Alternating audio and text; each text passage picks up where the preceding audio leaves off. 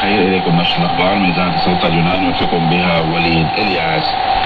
أعلن رئيس الوزراء اليوناني ألكسيس تسيبراس معارضة تولي مانفرد فيبر مرشح المحافظين الأوروبيين في انتخابات البرلمان الأوروبي منصب رئيس المفوضية الأوروبية خلف الرئيس الحالي جون كلود يونكر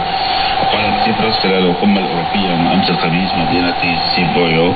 الرومانية نحتاج رئيسا يدعم وحدة الاتحاد الأوروبي وأفكاره الأساسية التضامن والديمقراطية والتماسك الاجتماعي. ورد تسيبراس على الرئيس المقبل الفوضية الأوروبية أيضا أن يواجه الليبرالية الجديدة وسياسة التقشف وتزايد العداء للأجانب. وقال هذا الرئيس ليس فيبر هذا هو موقفي يشعر انتخابات البرلمان الأوروبي ستجرى في الفترة من الثالث والعشرين للثالث والعشرين مايو الجاري قد ستكون في ألمانيا في الثالث والعشرين مايو وكذلك في اليونان وعن قبل الأحزاب الأوروبية عن أعضاء الذين الذين ترشحوا للتنافس على منصب رئيس الفوضية الأوروبية.